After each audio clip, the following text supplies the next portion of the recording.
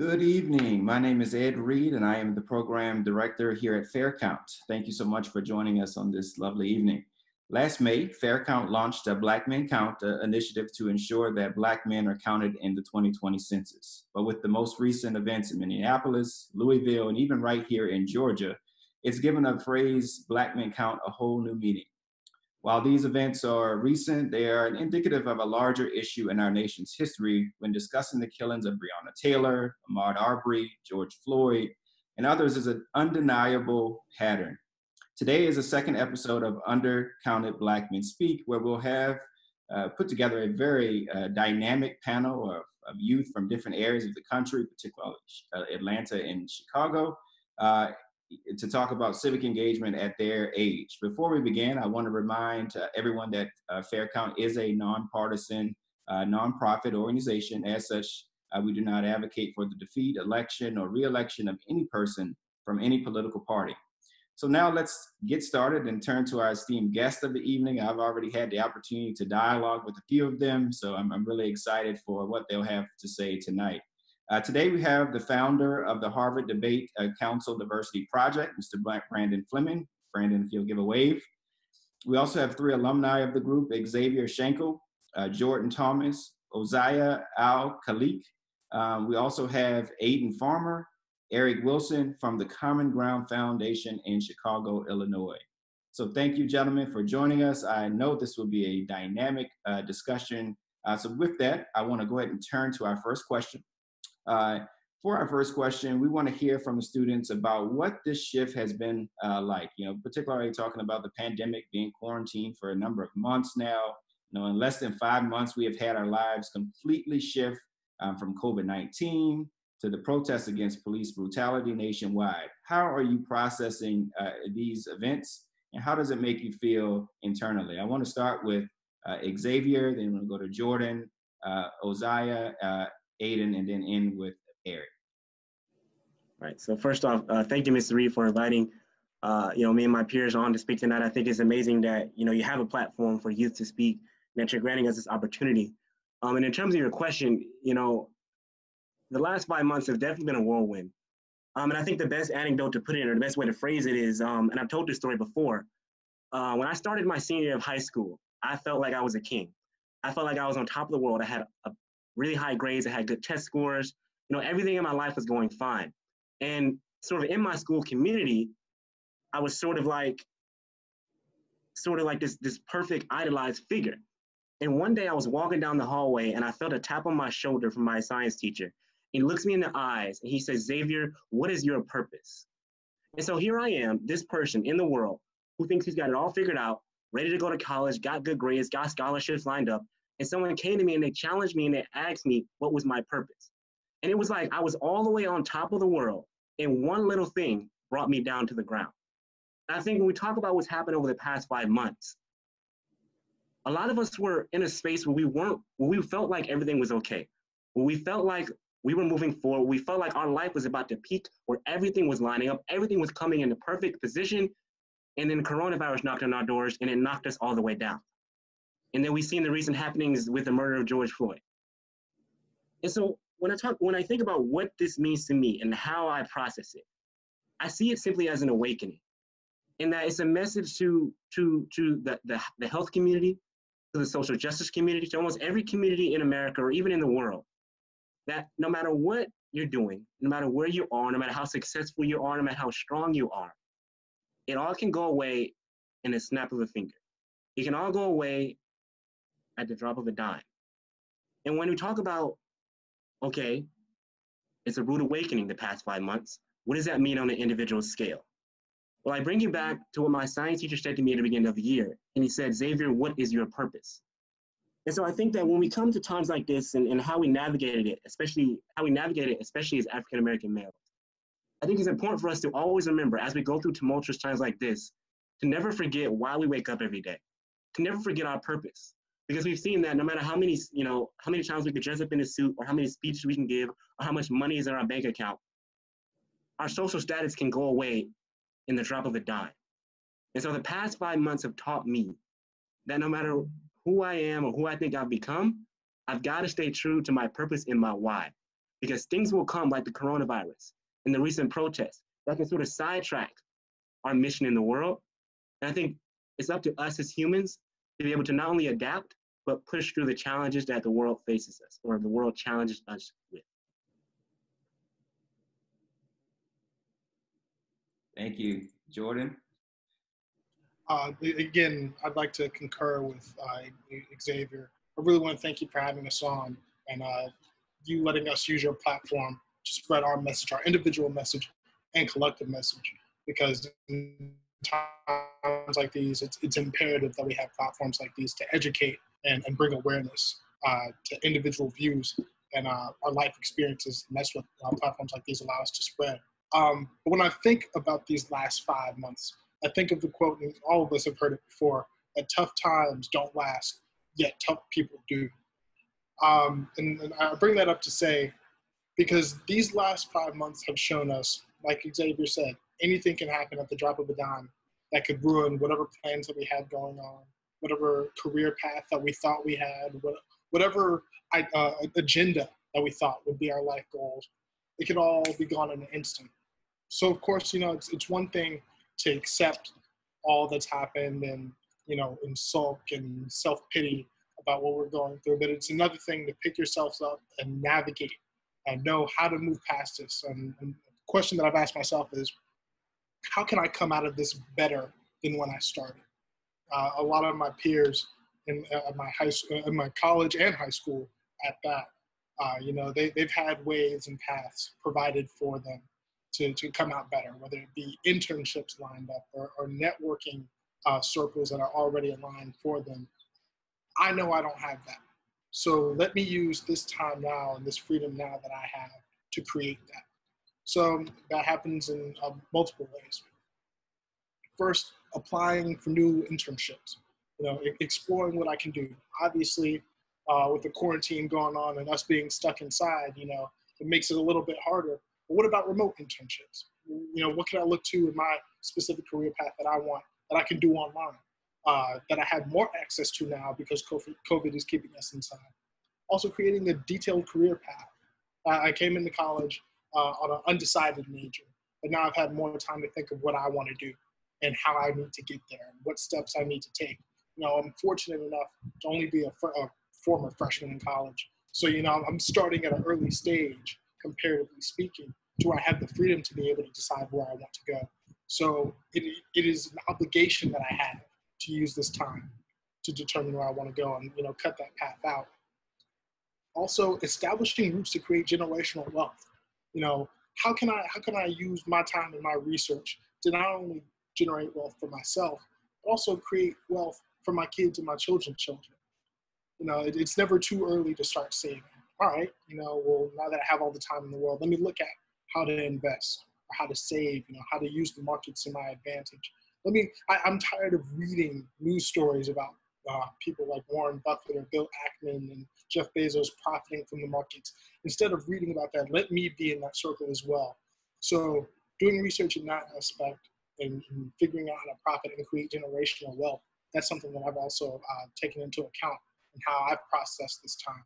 And of course, you know, you know, it's it's it makes me feel bad, you know, missing out on things like spring break or you know losing time with uh, new friends that I made, and you know this being the beginning of my college career.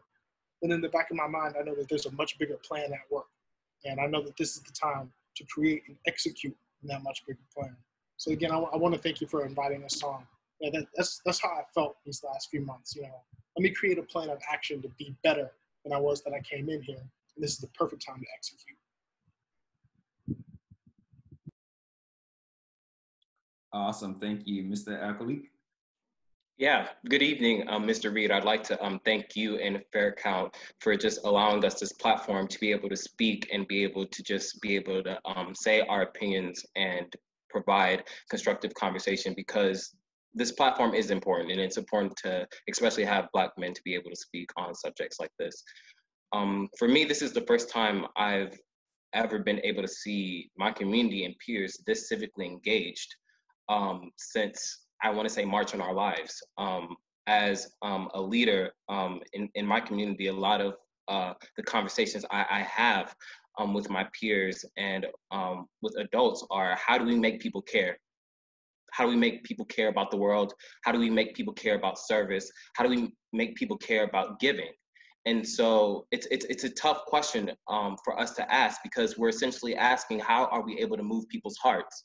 And I think this is the precise moment in which we're able to see a movement where people are being able to be vulnerable and, and put their hearts first. This this is this is this is about a, a time of protest because of police brutality, but this is also a time for us to come together as a community and come together to mourn and just talk about something that's that's bigger than each and every one of us and to be able to see us all convene in such a manner and, and hold such a vulnerable position where it's not about anything else but each other and God is, is really powerful. And so I think this is a testament to not only um, our will as leaders and humans, but also our capacity to love each other and capacity to come together.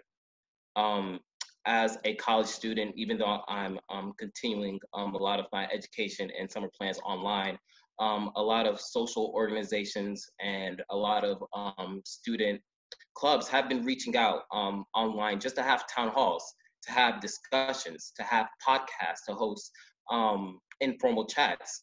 And so I, I think this is a true testament to for to embody um, for the first time people being able to step outside of themselves and to do something that has never really been required of, of them before to this extent. And I, I, I think it's powerful. For me, this this movement makes me aware. It makes me aware of, not only my position in the world, but it also makes me aware of the impact that I can have on others and on my community, uh, and on my community as well. Um, I echo um, uh, Jordan's sentiment in, in talking about how can we come out of this situation better? What can we improve on? Um, and so a, a, a, lot of the perspective that I like to take with um, situations that bring about a lot of um, grief and, and pain is about how we can ignite that to action. How can we not only make this about healing and catharsis, but how can we also make this about impact? And so I think that's the next step for um, our community in general. And um, I think a lot of uh, what we're seeing right now is indicative of what the future holds. Um, I, I, see the youth um, not only shaping the world in, in, in, their own vision, but also being able to come together and, and, and unify um, different communities together to be able to advocate for, for something. Um, and I, I think we'll be able to see more of that in the future. And I look forward to the role each and every one of us um, plays in doing that, no matter if it's a small role or it's a big role. And I think um, definitely having um, organizations like uh, Fair Fight and having uh, platforms such as these to convene um, different um, youths and perspectives together is an important role to play in, in transforming that vision. Thank you so much. I'm going to turn now to Mr. Farmer.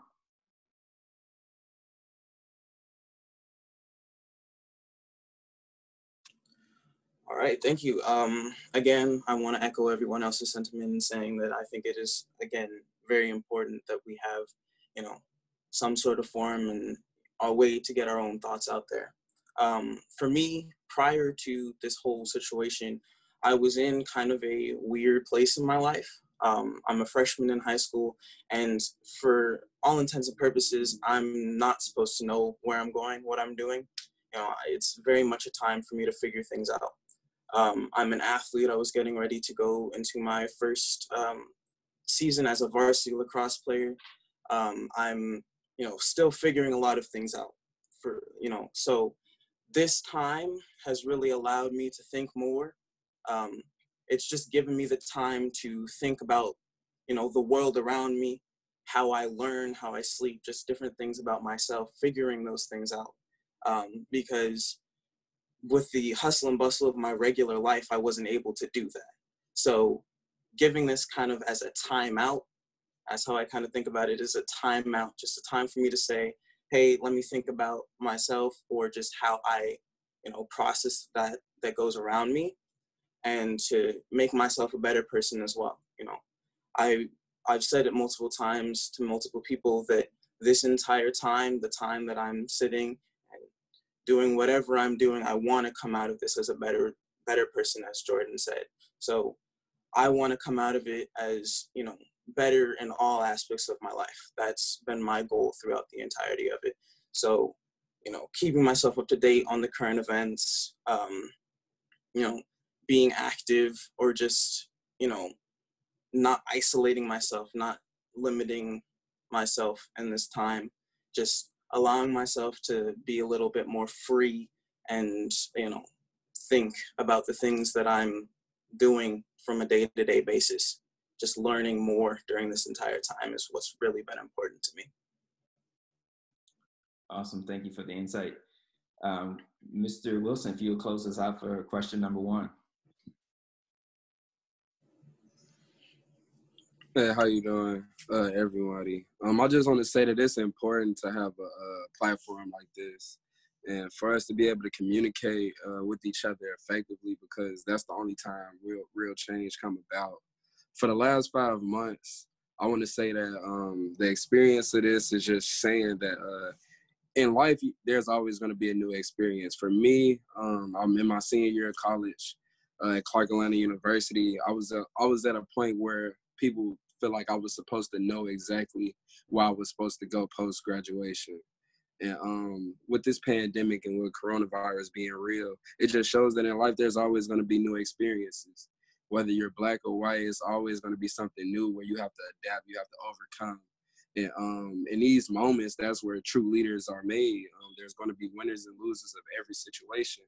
Now, when it comes to George Floyd and police brutality, um, that's that shift was uh, was a I, I want to say was a wake up call because uh, in America everybody know that you know we're everybody knows the history. When it comes down to it uh, blacks we've been you know put in several positions of uncom- of being uncomfortable.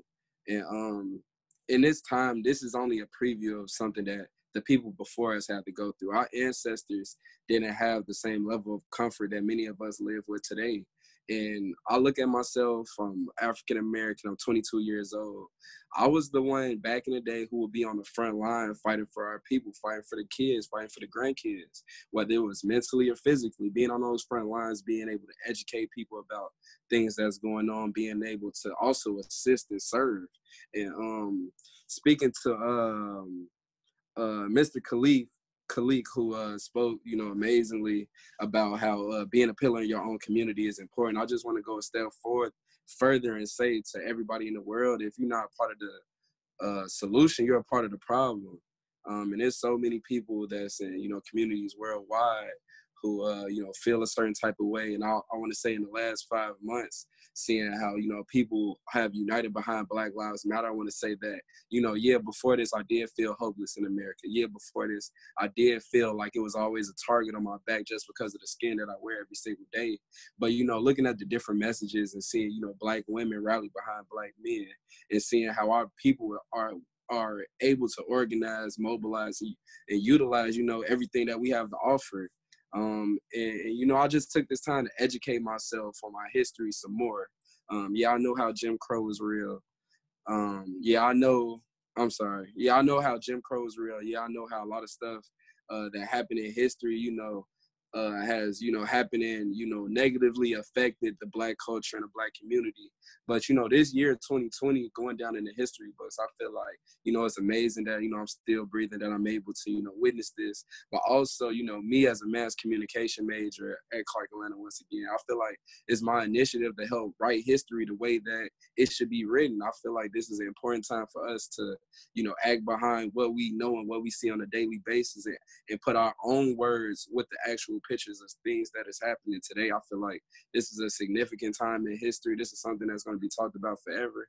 And you know, I'm blessed to be here, but I also know that I'm here for that purpose. Speaking to um speaking to uh, Xavier, who spoke earlier about finding that purpose, I feel like these last five months, I was able to find my purpose and I was able to, you know, help bring things to the light and, and just you know speaking back to you know this amazing platform where people are able to speak their mind i feel like this is a testimony to um you know purpose on how he's able to you know bring people together and bring people together to speak on positive things that's going on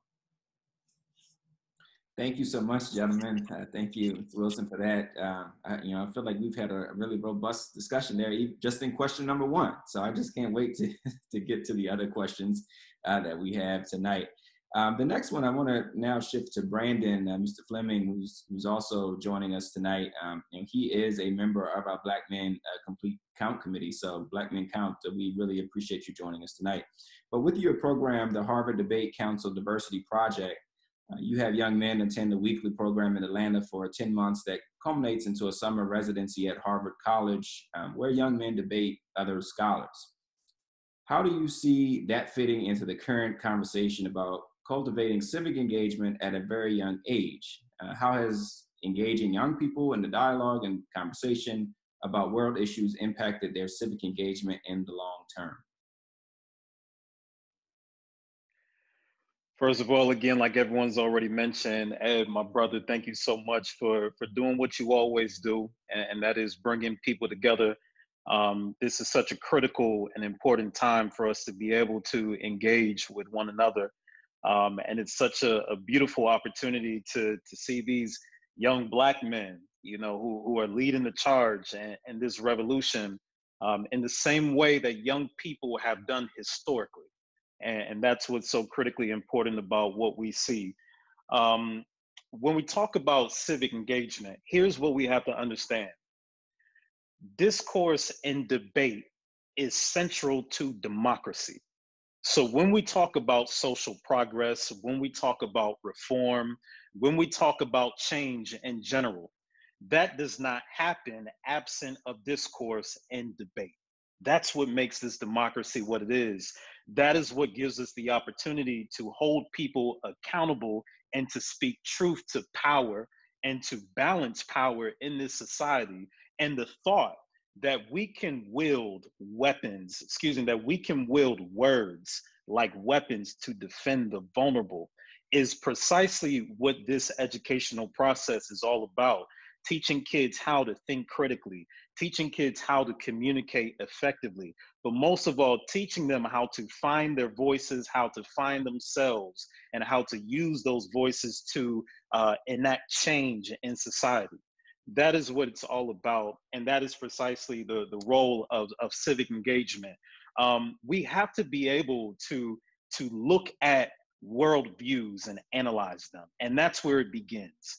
It begins by not teaching kids what to think, but teaching them how to think by introducing them to a myriad of worldviews so that they may find their own and appreciate the worldview of others. When we create that experience, that is how we are able to build something like empathetic enterprise, which means that we are building businesses and institutions that serve people and not exploit people. But all of that begins with a conversation. And the conversation is it doesn't matter if it's enterprise, it doesn't matter if it's education. We must value humanitas, which always keeps humans at the center. And that is the central axis upon which our society has to turn. Thank you. Thank you so much. You might see me even writing. I'm writing tidbits over here. So much profound uh, words coming out, and, uh, and I just want to make sure we don't lose that in, in today's conversation. I'm going to go now uh, with question number three. I'm going to go to Xavier and Eric uh, with this question. Um, on the first night of the curfew uh, that was instituted here in Atlanta, um, a video of a Spelman and Morehouse student being forcibly removed from their vehicle and tased quickly made the rounds on social media, Twitter, Facebook, Instagram.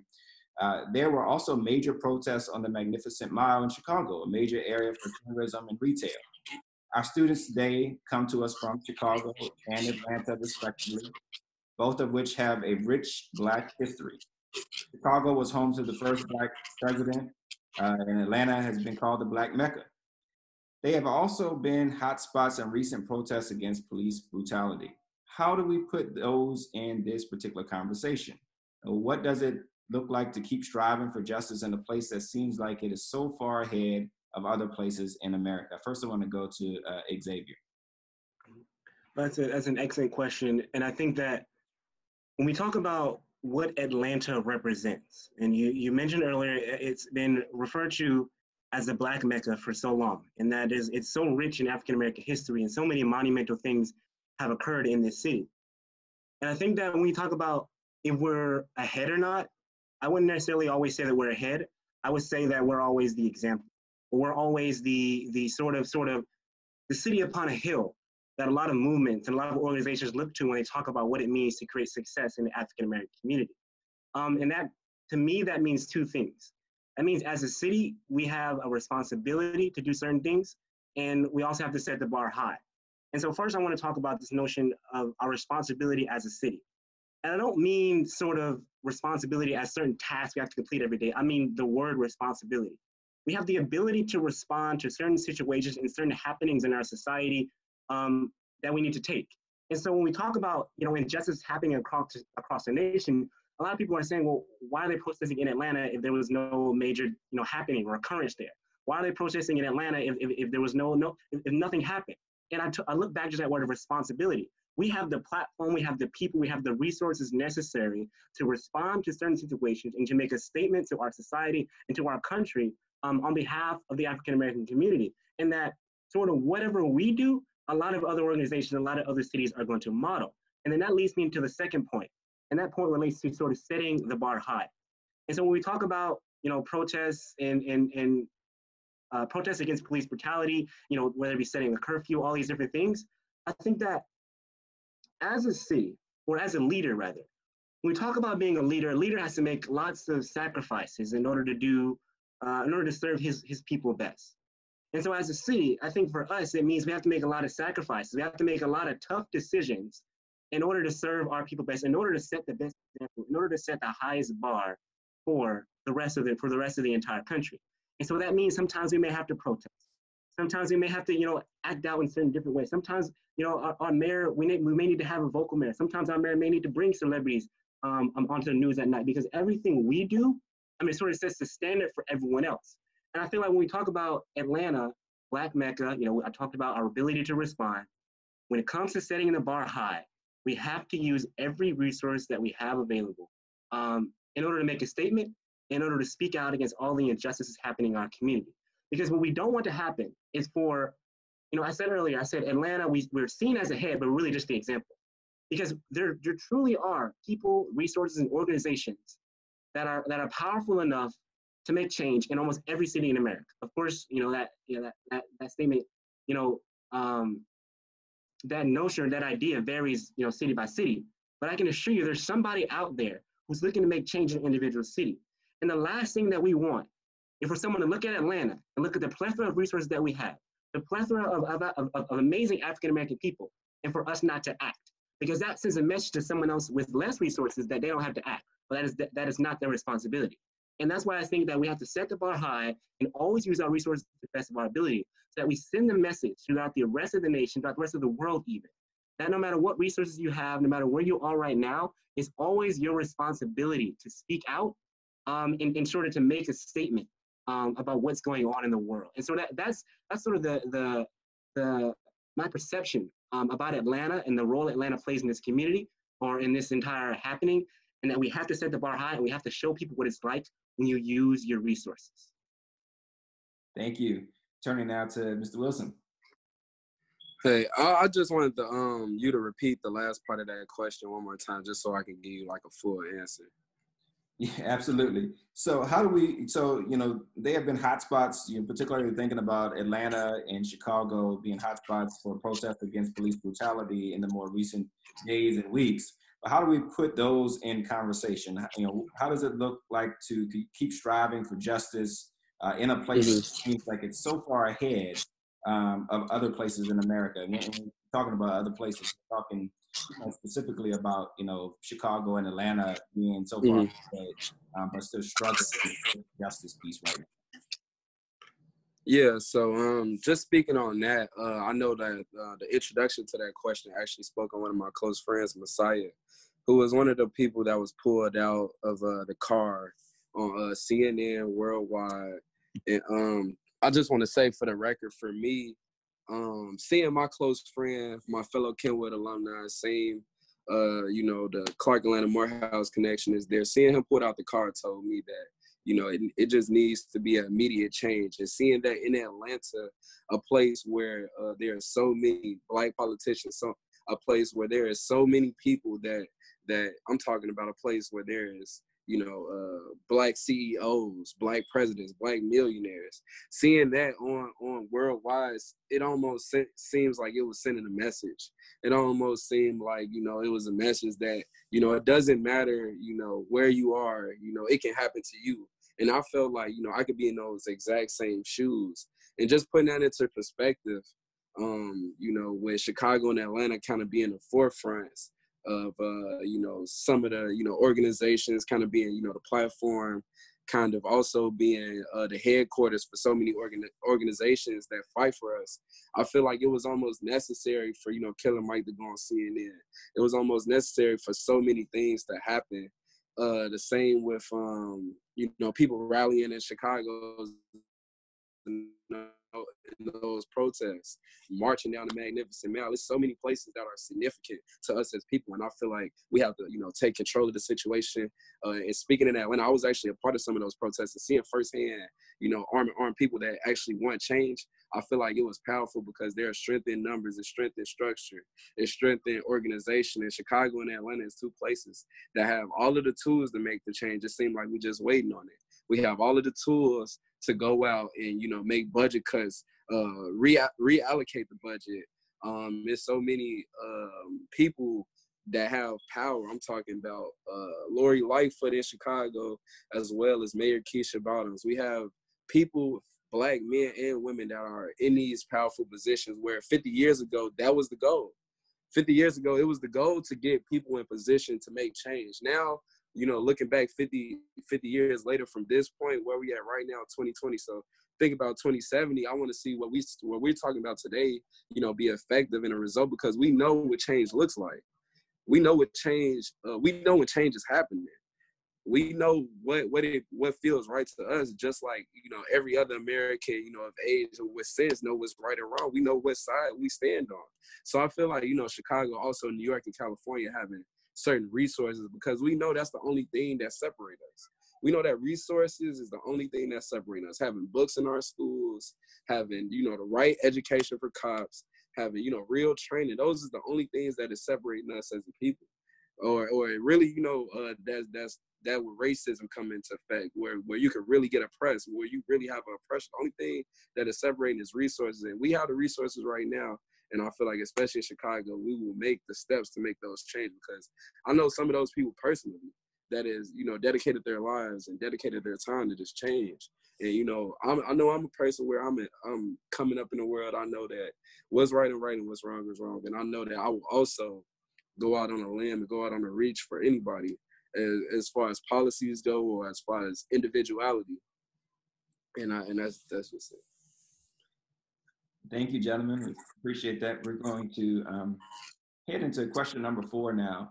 Um, we're going to start with uh, Mr. Al-Khaliq and then go to Mr. Thomas. But the question number four, we're seeing an outcry from our youth for change in the world. You know, they want to grow up in.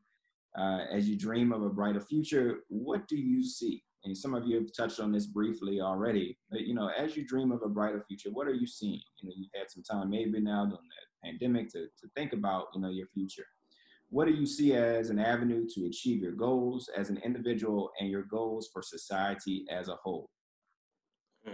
Mr. Hmm. Reed, that's a beautiful question. Um, when I dream for a brighter future, the, the, first thing I see is empathetic leadership. For the first time in a long time, I, I feel as though nationally and internationally, in, in terms of response, in terms of agency, we are all on the same page you know, um, I, I cry and, and, feel the pain of my brothers and sisters in um, Minnesota. I actually um, have family there as well.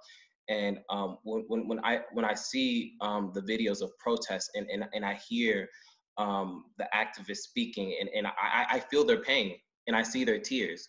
And when we leave with our hearts first, there's nothing that separates us because we all know pain and we and we all know know what that feels like.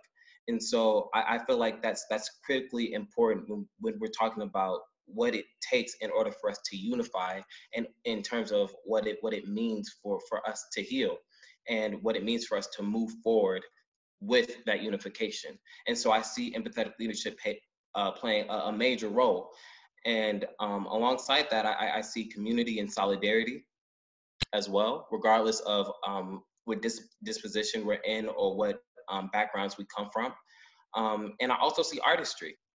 You know, um, I, I, I had the chance to um, uh, do a lot of research in terms of like how people are expressing themselves. We're, we're seeing an age where, where predominantly a lot of the youth are, are getting up and they're writing poetry. They're doing spoken word. They're singing songs. Um, they're expressing themselves. And um, as as I understand it, the, the, the purpose of artistry itself is is not to conclude. It's it's not based off logic. The purpose of artistry and expression is to convey. And so I, I think when we're able to, to to feel what other people are feeling and use that in order to drive not not not only our courage, but to drive our um our willingness to to still move in spite of fear. I think that's important because it, it takes a lot of vulnerability and it takes a lot of courage to be able to to drop down your barriers, get in front of the crowd, and, and express your pain to other people. And um, I, don't, I don't think that's something that should be overlooked. And so I think artistry, empathetic leadership, and, and community are, are, are pivotal for us to not only unify together, but to all for, for all of us to be on the same page in order for us to sit down and have these discussions, as um, Mr. Fleming has um, reiterated earlier in terms of what I see as the avenue for achieving these goals on an individual standpoint. Um, Mr. Fleming has always taught us within the Harvard Debate Council Diversity Project that we that we have an obligation, a moral obligation, to build as we climb. We have an obligation to, to serve the less fortunate, especially if we are operating from a stance of privilege. Not everybody is afforded the opportunities that we are able to be given through the Harvard Debate Council Diversity Project, and it's important that we give back it's important that that that we understand where we come from and provide seeds of nourishment and growth in order to make sure that our communities are flourishing just as we are.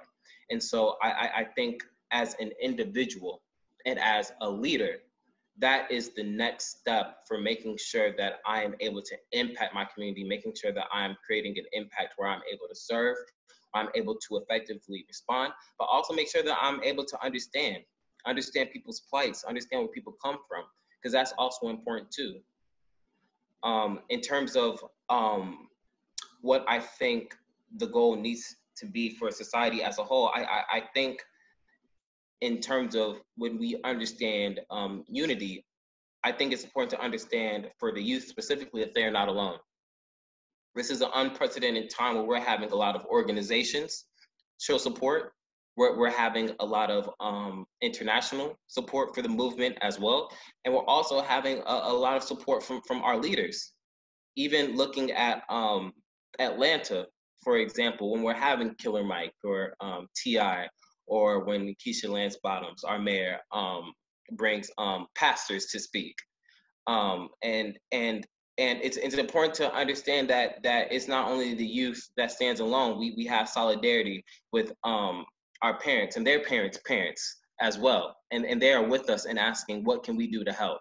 And what can we do to move forward? And I think that they have a wisdom and experience, as um, Mr. Wilson pointed out before, that is critical for, for understanding not only how do we how we survive, but how we move past. And understanding that this is not the end, but the beginning of, of, of something greater than what, what we've seen before. So I think understanding um, as, as, as a whole, socially, utilizing our leadership and, and, and, utilizing those who came before us who have walked upon the same path, but have been able to walk upon that path stronger than when they left is, is, is, really important in terms of understanding how we can utilize agency from all demographics in terms of um, meeting that better future and that dream that we all have. Thank you. Uh, we're going to turn now to Mr. Thomas.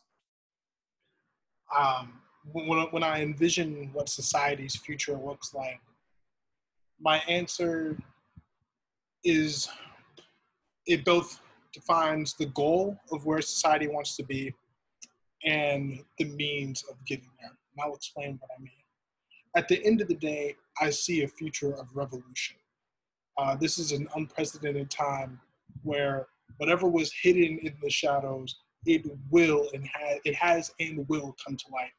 uh, primarily because we've never seen so much conviction uh, when it comes to protesting and so much momentum.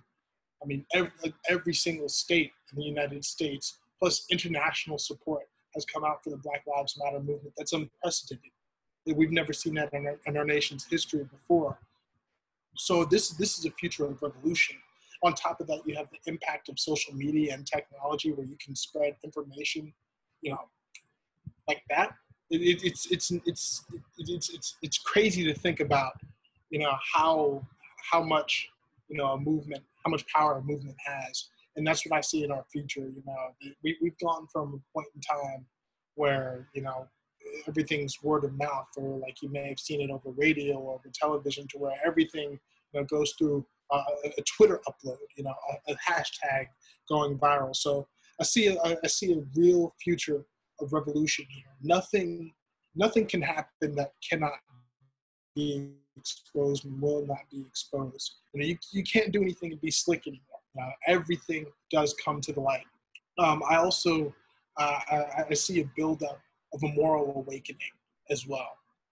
You know, um, you can almost relate it to like a, a great awakening, uh, a social revolution outside of just the Black Lives Matter movement or the Me Too movement or movements for uh, pro gay rights and things like that. We have a whole moral shift in our society of inclusivity that we've never seen before. And, and, and it goes so deep to where the people are calling out the United States government to its core, and we've never seen a response like we have. I'll explain what I mean. When we have uh, an administration that calls on its own military to quell the, the protests and the riots of the people who are calling that uh, government out, that's when you know that we've struck a chord so deep that we've never seen before. So I see a future of revolution, but the means of getting there is the revolution that we have already. Uh, for myself personally, uh, my future, it, it looks like, uh, or what I would envision it, is to work with the United States government uh, with contracting and lobbying as well, using a, a, platform that I have to influence policy. Specifically, I've taken an interest to United States foreign policy, and uh, that, that's just where my core of study is. I'm declaring my major in political science and international studies, but how do I envision myself getting there? And it, it starts out with simple things, uh, and it's quite comical, but simply creating like a LinkedIn page, you know, you know, taking those steps to become more professional. Um, I, I know that's a, uh, contra- uh, it's, it's, a controversial term in and of itself, but you know, taking that step. i I'm 19 years old now. I'm, I'm not a kid anymore. You know, I, I don't have that excuse of being the young, bright high school mind, and I don't have the oh, you have such a bright future. Now, this is the time where I create my future. So, taking those initial first steps and uh, in the right direction to set up a brighter future. That's what I'm doing now. Uh, on top of that, establishing new relationships relentlessly. You know, never settle for the social circle that I have now because it, it can always be better. Uh, another reason why I want to thank you for inviting here, uh, inviting me here, is now I have two or three new brothers that I can add to my social circle that we can build for each other. So I hope this relationship lasts longer than this than just this Facebook Live. You know what I mean? Because now we have each other in our network. So that included also like how we were talking about before, you know, uh, I think it was Mr. Farmer that said earlier that this is a real time out. It's a real time to read too. You know, get back to the simple things.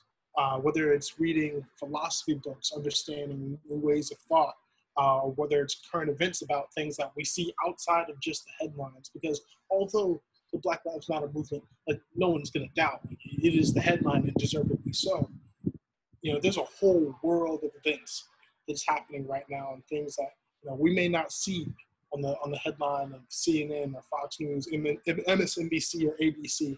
But there's a whole world of events going on right now. So t- paying attention to the little things as well and seeing how they work in the greater uh, woodwork that we know as the globe, uh, and also just understanding the playing field. Obviously, I know I'm just one one person, one young adult, and you know I, I have my idea of where I want to be in life and things like that. But I, I can't get there if I don't know how to get there. Um, a friend of mine, Levi, uh, Levi Leister from from uh, school, he told me that life is like everyone in a, in a room blindfolded with the lights off trying to find the light switch. Now, other people may have people telling them directions on how to get to the light switch, but at the end of the day, we, we, we don't know what we're doing. What, what we're doing. Uh, at this point, I'm trying to I'm trying to create a map of my room. You know, seeing where I need to go to reach the goal that I want to reach. So, I mean, the, again, that comes with reading and you know, uh, educating myself on where I want to be and how I want to get there. And uh, on top of that as well, just becoming more well well rounded as a person. You know what I mean? Like I can study whatever I want to study, but you know, pick up pick up a new hobby, pick up a new skill, learn an instrument. You know, uh, read read about random facts on the internet and things like that. Just random quirky things. You know, it, it may seem uh, inconsequential at first while you're doing it. But at the end of the day, it pays off. You know, talk to talk to people that are studying different things than you. Uh, learn about what they're learning about. You know, maybe pick up a few facts here and there from them. Um, because being well-rounded is my mom's told me since day one, since I was two years old. Uh, being well a well-rounded person is it's the best thing that you can do to have the strongest social network. So becoming more well-rounded of a person, that's my uh, that's my personal thing that I want to improve upon um, and what I see my future looking like. And that's that's where I want to be in my future. Thank you.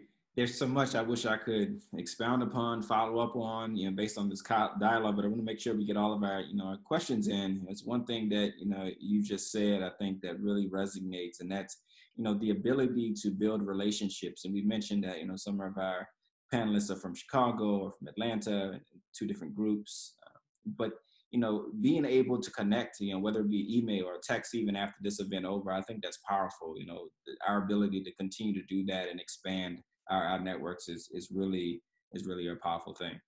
Our next question uh, is going to go to uh, Mr. Uh, Fleming and Mr. Farmer. Uh, one of the narratives that is often told about our youth is that they are selfish. You know, they don't care about the world around them. Um, but as we watch youth around the world lead the, cha- the charge for change, we can see that that is not the case. Um, you know, Mr. Fleming, as someone who works with our youth every day, what do you think are some of the ways uh, as a culture we underestimate our youth, particularly in regards to their understanding of the world around them? Yeah, you know, th- this is a great one and, and a very important one because here's what I need you to understand and what I need everybody to understand there is a fallacious stigma that stains the integrity of young people, uh, millennials in particular, and, and that is that they are unable and unwilling. But it's not a matter of whether young people are interested. It's a matter of whether older people are able to engage them. What happens is older people tend to use this as a scapegoat um, to to shift the blame from from from older people to younger people and and asserting um, that there's a, a, a lack of interest when there's not. There's a lack of engagement. And and that is our responsibility something very powerful um, happens when zeal and wisdom coalesce, when there's a marriage of experiential relevance and cultural competence. And that's what happens when young people and older people come together at the table. Um, we experience that level of power. But but we have to understand that they have something um, that that you know we don't really have. And and I'm speaking, you know, of course I'm I'm I'm pretty young, you know, I'm a millennial myself, but these brothers are younger than me, you know, and even they have something that that you and I don't have, Ed, and and that is zeal, energy. You know, um, I'm gonna share something as as long as as you and the people on Facebook don't judge me. Um, so the other day, brother, I went out to those protests, right? And I was out there on the band, and man, I was on I was on the front line, brother, giving it everything that I had. I mean, yelling, screaming, holding up my sign and all that, um, giving it everything. And then, man, listen, 30 minutes in, I got tired, brother. I was exhausted.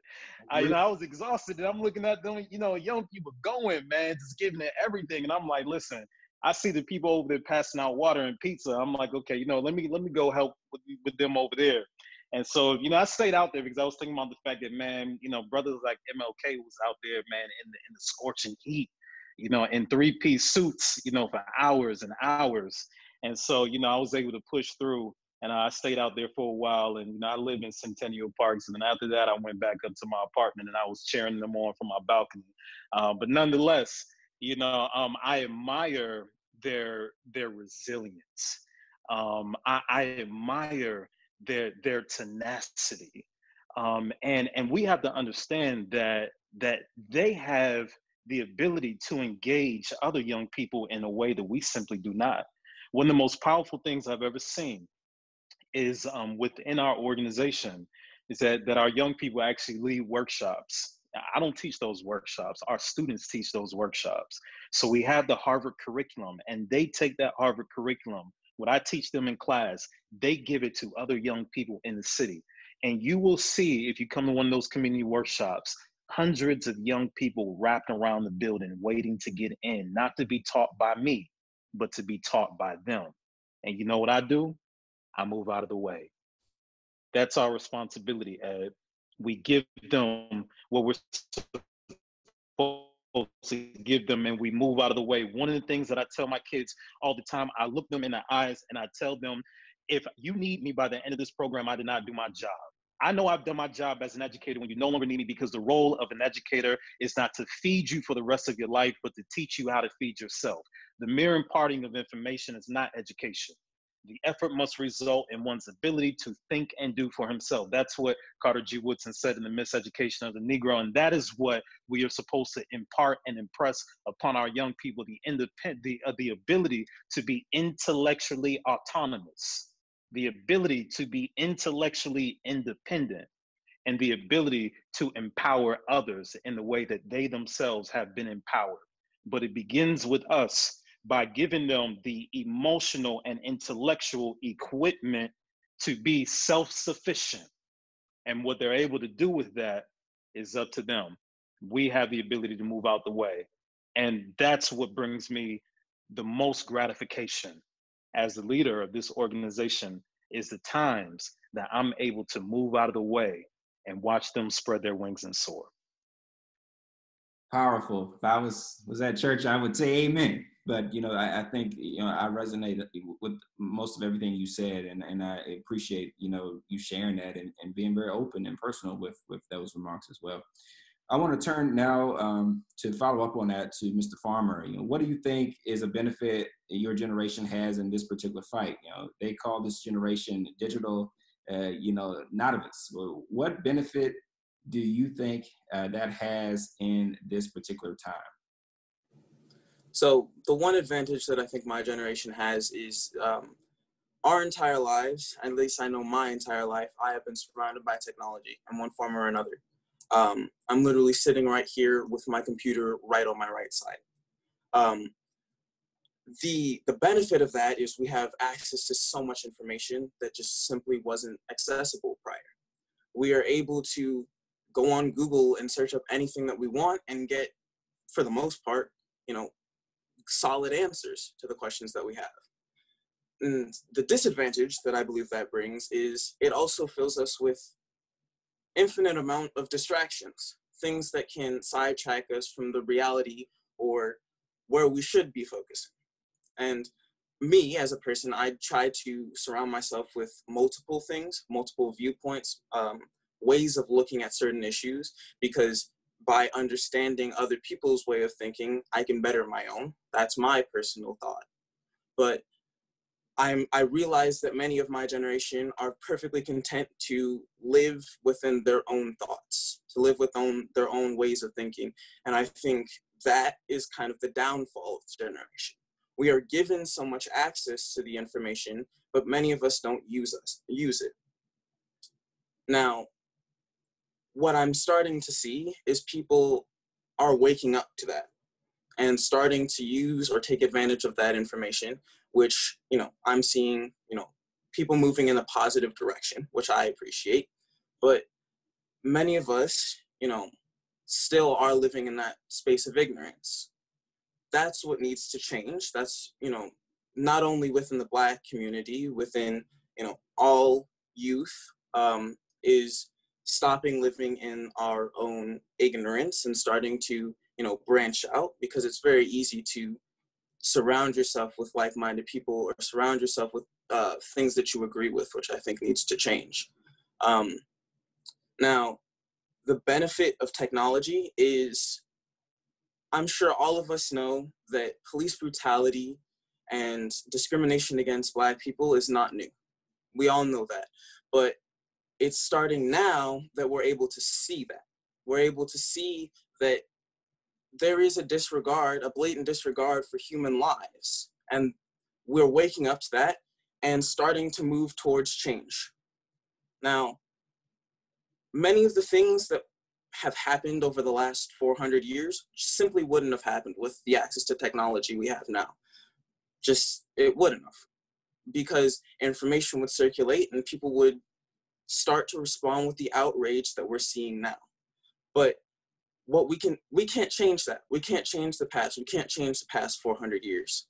What, what's our responsibility to do now is to take the information that we have see the experiences of the people around us and then act on it and create positive change. And that's what I'm seeing currently. I like the way I like the direction that we're moving, but at the same time, we can't stop pushing to make more change. We need to really change the way that we think, change the way that things work, and then I think we can all create the equality that we're all pushing for right now. Thank you. Thank you so much for answering and for the follow-up um, there. This uh, last segment is a little bit of fun. Um, so it's for everyone on our panel tonight, including myself. Um, it's called Black Men Blank. So our series is, uh, is called Undercounted Black Men Speak under the program of Black Men Count. But I want each of you to say a verb behind black men, black men, whatever, you know, that you think addresses how you feel um, and currently represents you as a person, particularly as a black man. Um, I want to start with uh, Mr. Schenkel, then go on to Mr. Thomas, Mr. Al-Khaliq, Mr. Farmer, Mr. Wilson, Mr. Fleming, and then I'll end with myself. Um, you know, I'll, I'll, I'll just say, you know, in terms of representing what, what I've endured in sort of my life, I just say that black men overcome. Now, try and keep it quick. I say they overcome because you look at a person like me. I grew up in one of the worst zip codes economically in Georgia. Um, you know, I'm about to go to college statistically I'm supposed to be in a prison cell. So every single statistic, every single number, every single fact, every single figure from, from, from where I was born and from where I would come from tells you that I'm not supposed to be who I am right now. But I feel like black men have the endurance, the strength, um, and it's sort of the willpower to push forth and sort of beat the statistics. And now the challenge is for, for, for, for the entire African American community is to ensure that, that not just students like me overcome, but every student, can overcome and every student can beat the statistics um, that can sort of cast a, a negative spell on where their life is supposed to end up.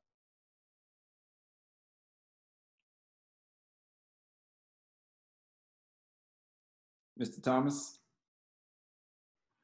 Uh, I would I would like to say that black men ignite uh, because not only do we do we mobilize for movements like the Black Lives Matter movements, and then stay complacent when we see justice in that regard. But we have things like like like talks like these that not only talk about the issues at hand, but create ways that we can you know move past and see a brighter future. So we ignite not only revolutions that bring social change, but we we, we ignite fires and drives within ourselves to be better. So yeah, black black men ignite. Uh, we always come out better. Thank you. Mr. Alkali? Um, I would say that Black men cultivate, not only for ourselves, but for others as well. You know, um, it, it starts at home with um, us providing for our family, us making sure to take care of our fathers and our mothers and, and, and provide for um, our siblings, but also being able to cultivate outside in the world to, to, to bring anew and bring um, from the ashes what, what has been um, burnt down. And um, I think that's a uh, personal testament, not only for myself, but I'm sure for these um, men as well, um, being able to overcome, as Xavier said, but also become anew, like Jordan is mentioning. Thank you. Mr. Farmer. Uh, mine is Black Men Think. And I think that this, uh, this forum, this panel is a perfect uh, model of that. Uh, we all think about the things that we're speaking about. So, you know, what's often ignored is that there are many great Black minds. So, Black Men Think is what I thought of. Awesome. Thank you. Mr. Wilson.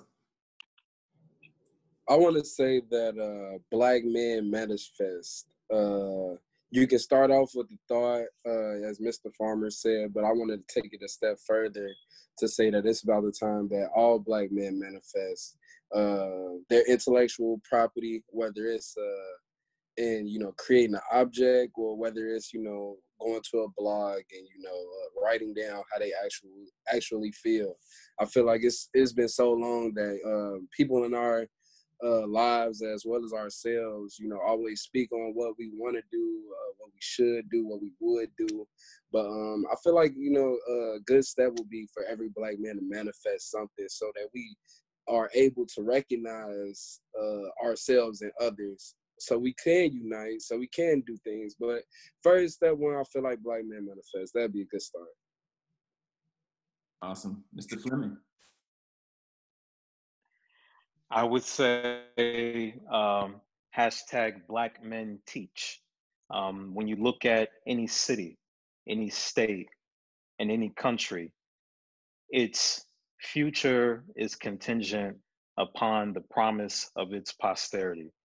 And because we teach, we have the confidence to step aside um, and allow the next generation to lead. And when we do that, we inevitably allow our entire community to prosper. Awesome. It's, I'm going to end with what I think is the most appropriate, particularly for this particular episode for Undercounted series, is Black Men Lead. You know, just listening to these young brothers on this panel um, and what they're doing in their respective, you know, communities, their neighborhoods, their schools, um, is touching to me. Um, even you know, at my age, I won't won't go into the age. I know uh, Mr. Fleming has already put us out there, but I think that these young brothers are leading in the way in which we're going in the right direction, and I'm I, I feel comfortable with saying that. Uh, and you know, I feel like they will be and are role models for even younger people even younger boys right now that are growing up. And so this group is leading. I'm not saying, you know, we have led in the past, we're leading, and we will continue to lead. So keep up the great work. Um, you know, look forward to continuing to work with these. You know, I want to continue to network with you all because I've just learned so much about you through this conversation that I think will be important as we continue many dialogues and conversations over the months to come. But thank you for tuning in uh, to tonight's uh, episode of Undercounted Black Men Speak. Thank you to each of our panelists, you know, Mr. Fleming, Mr. Schenkel, Mr. Farmer, Mr. Thomas, Mr. Al-Khaliq, and Mr. Wilson for joining us today. We really appreciate Common Ground Foundation. Really uh, appreciate the folks over at the Harvard Diversity Project for coming together to make this episode uh, possible. Thank you to those that are at home that are tuning in via Facebook Live uh, to view our discussion tonight. Uh, we hope that this has been an enlightening conversation for you as well. If we did not answer your questions in the comments on Facebook, uh, you know, check back. We will make sure that all of your questions are answered, particularly related to the, you know, the census. Um, we hope that you know all of you will be able to join in next week for our final episode of this series here on uh, June 15th at 7 p.m. Eastern Standard Time.